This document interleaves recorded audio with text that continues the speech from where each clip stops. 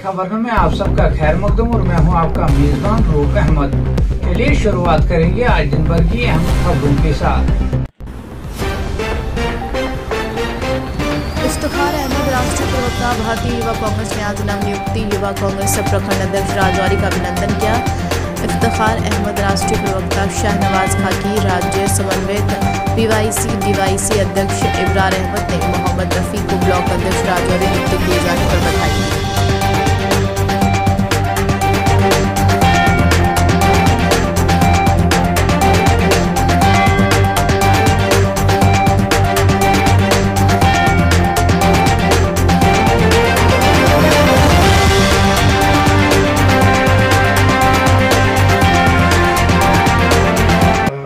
आज मोहम्मद रफ़ीक जी जो हमारे साथ कांग्रेस कांग्रेस में काफ़ी अरसे से काम कर रहे हैं और इन्होंने काफ़ी अच्छी मेहनत से काम किया है। मेरे साथ काफ़ी अरसे से जब से यहाँ चुनाव हुए थे, तब से ये हमारे साथ यहाँ यूथ कांग्रेस में इन्होंने मेंबरशिप भी की और हमारे साथ शाना बशाना हर एक्टिविटीज़ में, लोगों की खिदमत करने में ये हमेशा जुटे रहते हैं और बहुत अच्छे लीडर हैं हमारे एस टी कम्युनिटी के, ये गुजर कम्युनिटी से ताल्लुक़ रखते हैं।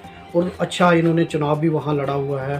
चौधरी नाड़ रताल पंचायत से वहाँ चुनाव इन्होंने लड़ा। और हमेशा लोगों की खिदमत गरीब आवाम की नौजवानों की आवाज़ उठाते रहे हैं। आज हमने इनको यूथ कांग्रेस का ब्लॉक प्रेसिडेंट जो रजौरी ब्लॉक है उसका यूथ कांग्रेस का प्रेसिडेंट बनाया है।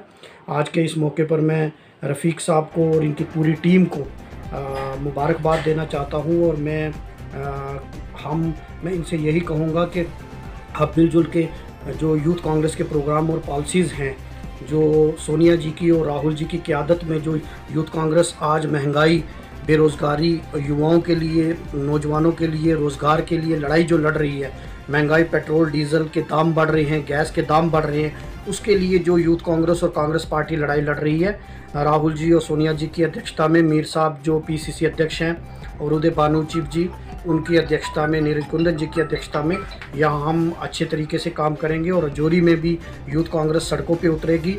और जो महँगाई के ख़िलाफ़ और जो जुल्म और सितम उसके ख़िलाफ़ यूथ कांग्रेस लड़ेगी और शफी रफ़ीक साहब और इनकी पूरी टीम शाना बशाना इसके लिए काम करेगी। मैं एक बार फिर इनको मुबारकबाद देता हूँ।